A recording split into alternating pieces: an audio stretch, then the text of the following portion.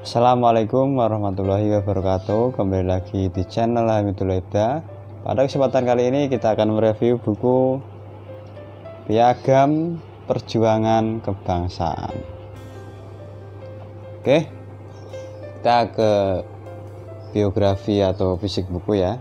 Judulnya adalah Piagam Perjuangan Kebangsaan. Penulisnya adalah Abdul Munim DZ ya sebagai editorial kemudian diterbitkan Sejen PBNU NU online dan ini terbitan pertama tahun 2011 covernya seperti ini ya.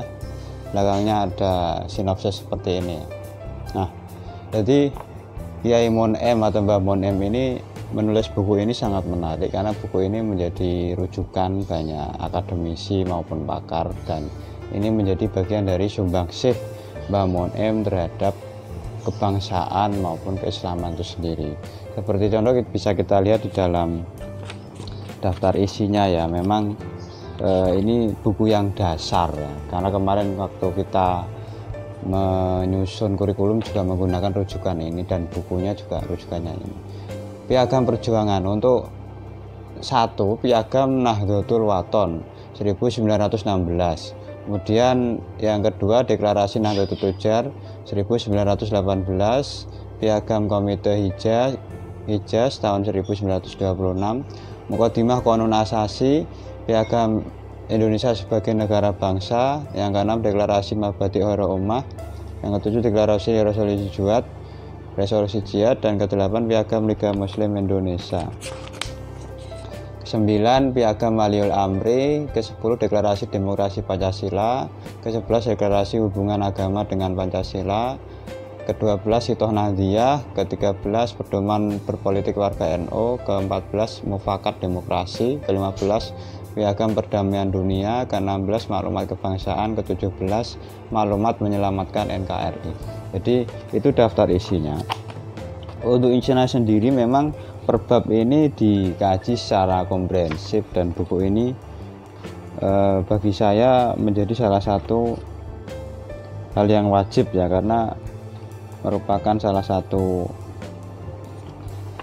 rujukan yang memang banyak dikutip oleh akademisi, pakar atau dalam pengamalan kehidupan sehari-hari. Memang kalau kita bisa melihat secara dasar ini banyak sekali peristiwa maupun kejadian yang saat ini dilupakan oleh warga NU itu sendiri. Bisa kita contohkan seperti Piagam Nahdlatul Wathon. Ini kan jarang sekali orang yang tahu, padahal di dalamnya begitu pentingnya ya. Kemudian deklarasi Nahdlatul Tujar seperti latar belakangnya berdirinya NU itu sendiri ada kebangkitan para pedagang atau saudagar yang bisa kita kontekstualisasi sebagai kebangkitan ekonomi dan ini menurut saya memang wajib dimiliki oleh warga NU maupun dosen, mahasiswa ataupun kiai NU itu sendiri karena beberapa kiai juga saya lihat menggunakan rujukan ini sebagai rujukan utama dalam menulis maupun belajar tentang NU maupun kebangsaan maupun keislaman itu sendiri. Jadi itu tentang isinya. Untuk dalamnya memang ada beberapa hal yang menarik ya. Jadi tiap bab itu ada semacam uh, pembatas ataupun layout yang menarik. Jadi kelebihannya itu untuk hurufnya saya kira sudah ramah dan ada beberapa kutipan ayat Al-Quran seperti kitoh Nahdlatul Ulama ya. Jadi itu untuk kekurangannya saya kira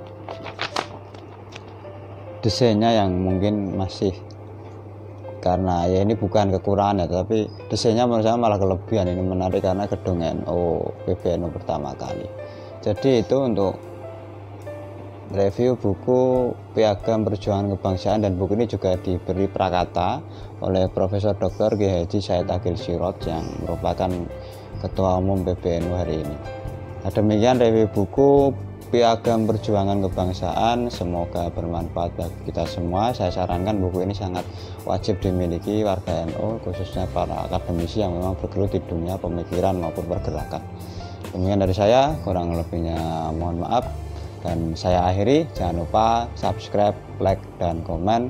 Wawon wafik ila aqwamitorik wassalamualaikum warahmatullahi wabarakatuh. Salam literasi